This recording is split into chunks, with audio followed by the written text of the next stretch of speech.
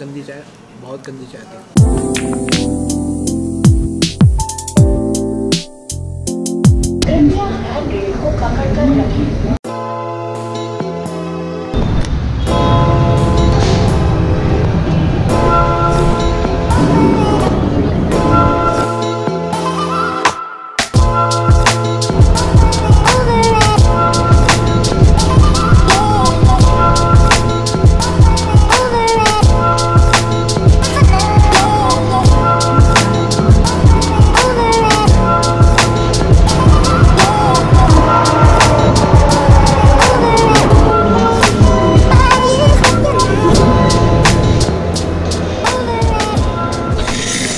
Hello hello everyone अभी पाँच बज रहे हैं वैसे तो।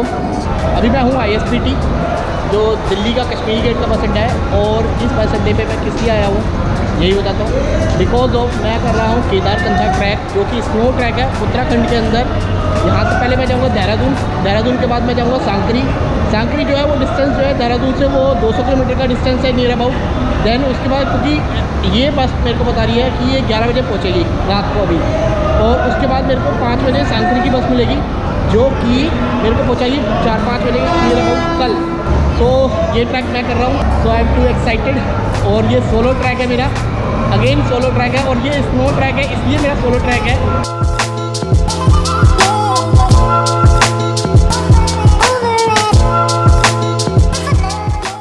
यहाँ पर कुछ देर के लिए ढाबे पे रुकी है ये वाली बस तो पीछे की साइड है मेरी और उसके बाद अब यहाँ से चल देगी बस। मैंने एक बस चाय चाय पी थी बाकी खाना तो मैं घर से ही लेके आया था तो वो बस यही चीज़ थी। अपडेट करना था, बीच में एक हॉल्ट लेती है यहाँ पर देन उसके बाद अब सीधा रुकेगी ये जाके देहरादून। तो अब आगे चलते हैं और देखते हैं। अभी आठ बज रहे हैं, आठ बजे ये बस यहाँ पर है। तो यानी कि ग्यारह या एक, दो बजे तक मतलब मैं देहरादून हूँगा देन उसके बाद पाँच बजे सांकरी की बस पकड़नी है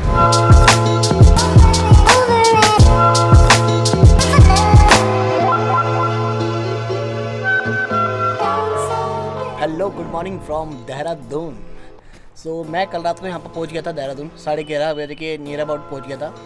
और उसके बाद से लेके और इस बस के डिस्टेंस के बीच में मतलब ये बस चलती है साढ़े पाँच बजे, और मैं पहुँचा था देहरादून रात को साढ़े ग्यारह बजे।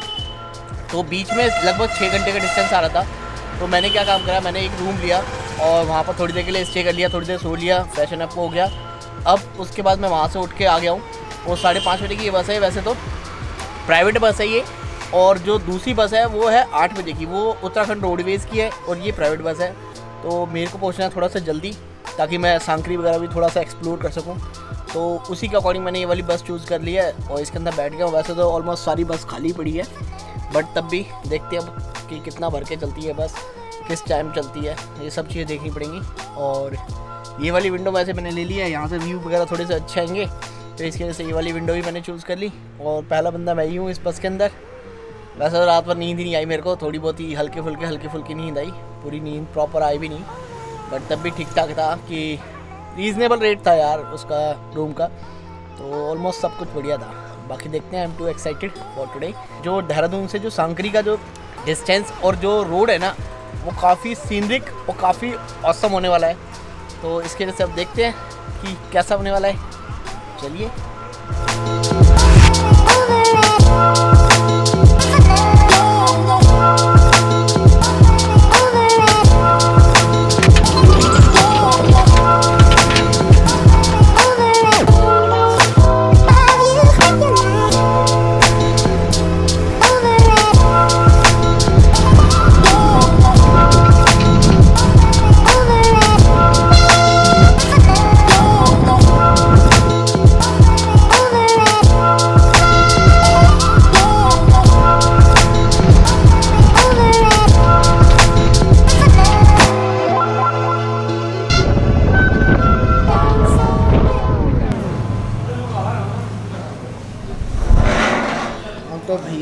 भैया डाम फाटा पे रुके हुए हैं, कुछ जगह है यहाँ पर।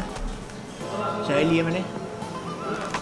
और अभी यहाँ से अप्रॉक्सीमेटली है छः छः घंटे का रास्ता है यहाँ से अप्रॉक्सीमेटली सांकरी तक का। और बीच में ये बस रुकी थी, डाक पत्थर देन उसके बाद अभी ये रुकी है, ये वाला हॉल्ट है। वो वाला हॉल्ट जो था, ये हाफ़ आवर का था। और ये वाला टेन टू फिफ्टीन मिनट्स का है। अभी साढ़े नौ हो तो साढ़े तीन तक। छः घंटे का अभी रास्ता बचा चाय अच्छी है। लेकिन सुबह जो चाय मिली थी ना, बस स्टैंड पे इतनी गंदी चाय थी, इतनी गंदी चाय, बहुत गंदी चाय थी। अच्छा हाँ। देहरादून से सांकरी के लिए जो डिस्टेंस है, वो 200 किलोमीटर के नियर अबाउट है तो उसके जो चार्जेस हैं, वो 330 की टिकट थी मेरी।